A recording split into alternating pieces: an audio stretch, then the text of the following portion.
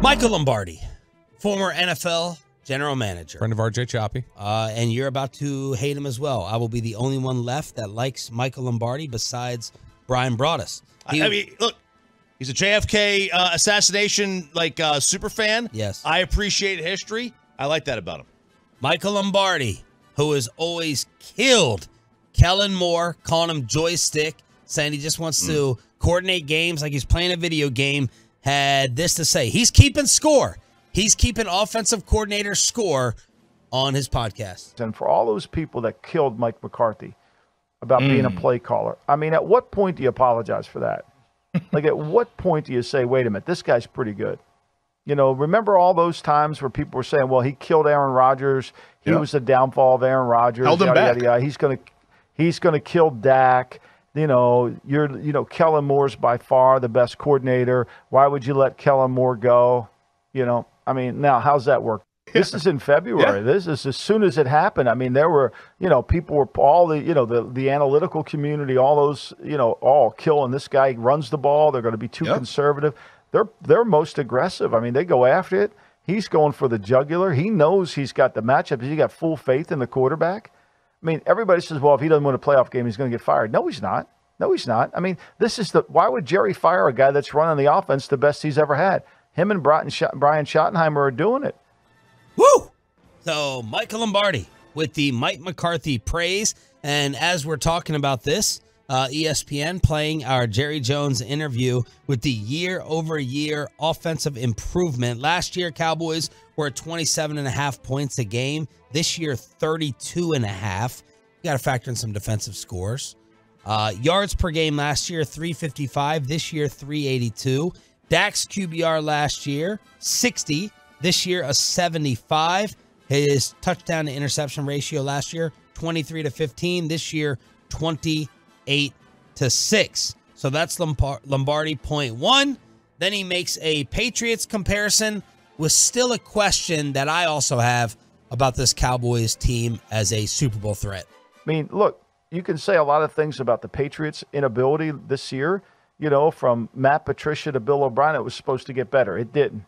You know, when you look at the changes made in Dallas, it did get better. Mike Solari's done better with the offensive line.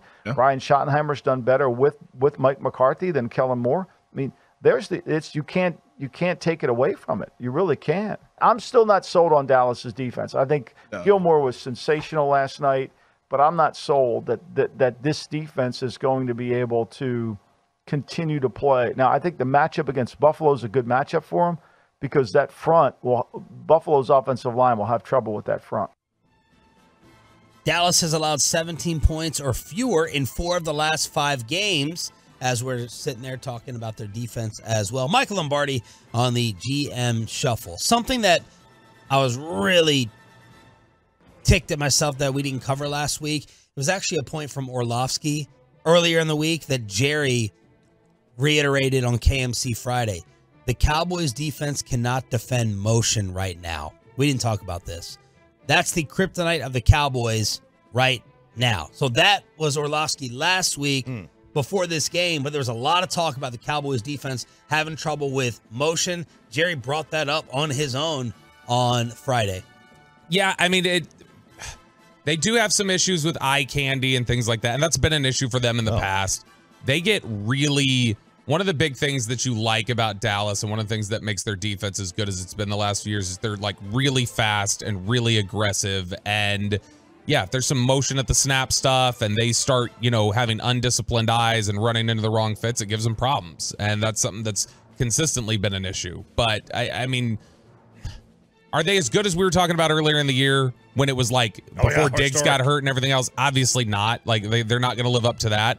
But I, I, I'm not panicking about defense lately like a lot of other people do. I know some people feel like it's a little smoke and mirrors what they've done, but I man, think people would probably think I have an overreaction to the defense compared to others. I'm more worried about it than a lot of other people are. I mean, uh, so in the motion situation, Philly's ranks where in, in motion? I have no clue where they rank in it. They, I mean, they use they use. Obviously, they were they they were uh about a month ago they were towards the bottom of the league.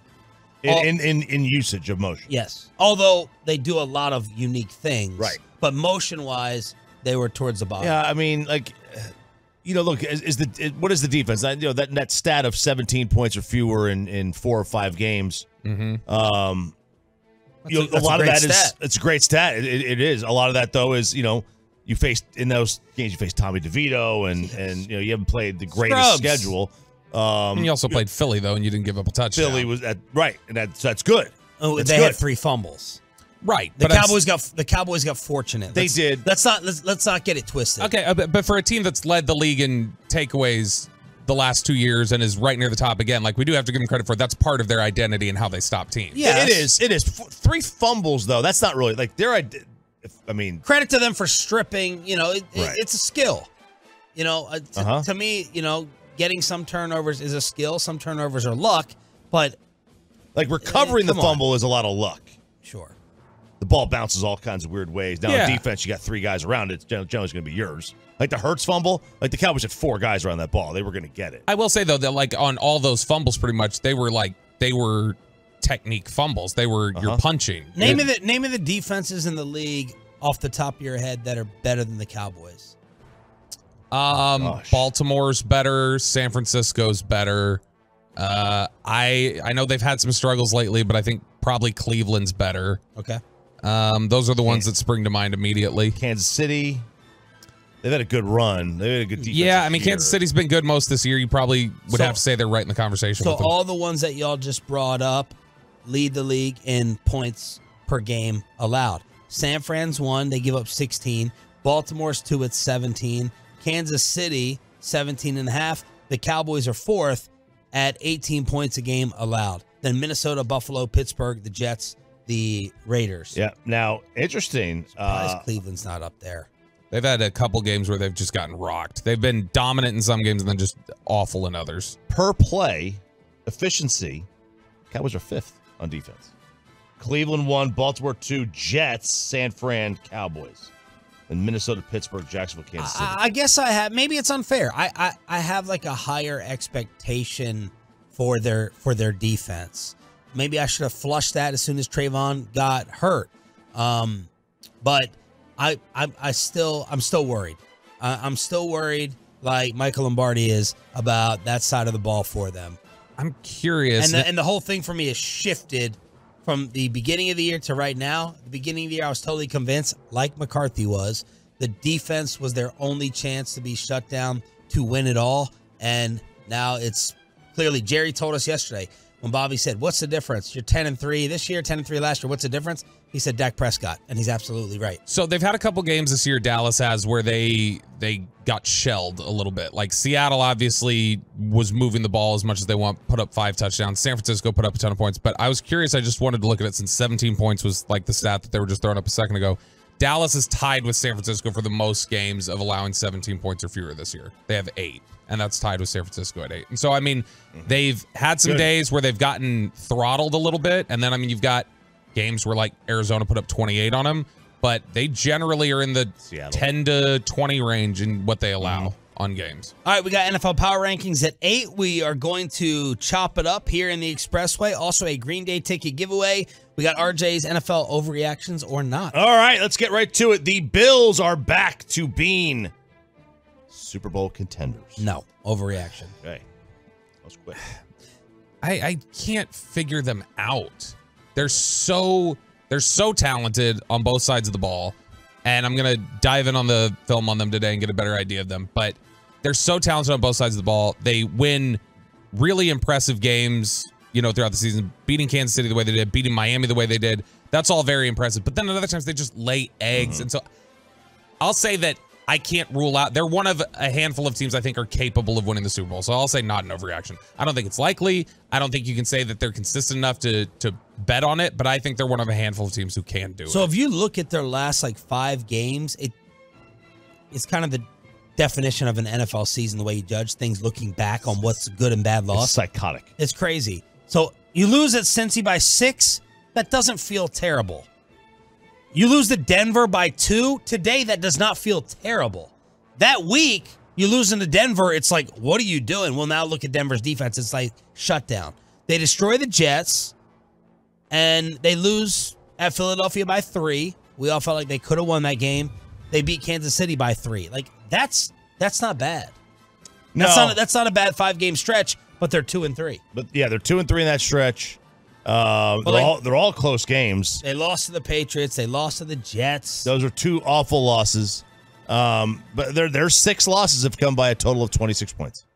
And 26 is a great number, Chop, because the Buffalo Bills have won four games this year by 26 points or more. Huh, they're bipolar. They're Yeah, Bill, yeah. they're, they're Bill Polar. So, so I think full they, I think they absolutely are capable of going on a run. Like, I just don't know how consistent they're going to be, but I say not an overreaction because I think they can win one. It's funny. Every metric, they're right there near the top. Like you know, their overall efficiency numbers, like Josh Allen is. is, is, This is going to be a tough game Listen, for li- Dallas li- this weekend. li- li- listen to me for all the Listen, Dak, listen, Josh Allen people, and y'all only come out of the ground when Josh throws a pick, which I think has been nine straight weeks. Um, of the top 10 quarterback highlights this year, when they run it back, NFL top 10 highlights of quarterbacks, Josh Allen will have four of those plays by himself, maybe five. The, the, the highlights that he puts up are crazy insane. What he did fading on the sideline the Oh, other day against God. Kansas this is what I talked about. This guy arguably has the best arm in the league, the greatest physical ability in the National Football League, and I've been saying it for three years. That's why I've, I've, I've I was scared. I, uh, I, I was scared to hold my Josh Allen stock earlier in the year. The top ten highlights, no one else can do what he does Yeah. except for Mahomes he was physically. he was 0.2 yards away from the sideline when he completed that pass, which Next Gen Stats said that's the closest anybody's been to the sideline on a completion in like seven years. But since I think it's since 2020, Josh Allen has five completions where he's a yard or closer to the sideline, and the rest of the NFL has one. wow. All right, next one. We're sticking with the same theme. Philadelphia, the Eagles are done as Super Bowl contenders. John, to, to- No, to- I answered the first one. Go ahead. um, that would have to assume that they were Super Bowl contenders to begin with. Ah, there go. No, no, no. Uh, look, they're they've got a, an offense that's incredibly difficult to defend, and if that defense were to click into place, they would be one of the contenders because it's just such a weak field overall. It's San Francisco and everybody. Yeah. that's the NFL right now, and so in that sense, I mean, if somebody picked off San Francisco, they absolutely could be in there, but. No, that defense is one of the worst in the NFL. Like objectively, it's awful. So, what's your answer? There, I wouldn't say they're a contender right now unless the defense changes. Uh, it's an overreaction. Everyone will be hopping back on slowly. They'll be stepping back on after this stretch of crappy games. Will you will you jump off if Seattle beats them this week? Um, That's that's, that's a they're, they're a live dog. Seattle is. I'll reassess. I'll be I'll be reassessing. But look, Vegas would say right now, Philadelphia is second in the NFC because Yeah. when Philly hosts Dallas, if they did in the playoffs, Philly would be a slight favorite. So Yeah. If you think the Cowboys are a favorite, Vegas is going to have Philly as a slight favorite if they have to go there in the playoffs. And, and I think the answer is And I think the Cowboys are a contender. Right. I think the answer is neither. But like neither would. But Philly probably their their style of offense probably travels better, right? Then who? Than the Cowboys. Um, I, I mean Dallas clearly doesn't play as well on the road, so I mean in that sense, I guess. I, But I'd also like to. I don't. I don't want to delve into this too much because we got to chop it up. But I'd like to do the bad weather studies in the playoffs and see if that's actually a factor still. How much of a factor is that really? Josh Allen throwing in Buffalo in playoff games. What Brady did back in the day. Uh, Aaron Rodgers obviously. I think take hampered the Tom out of anything. I think take Tom out of all studies. All right. It's just, it, it skews everything.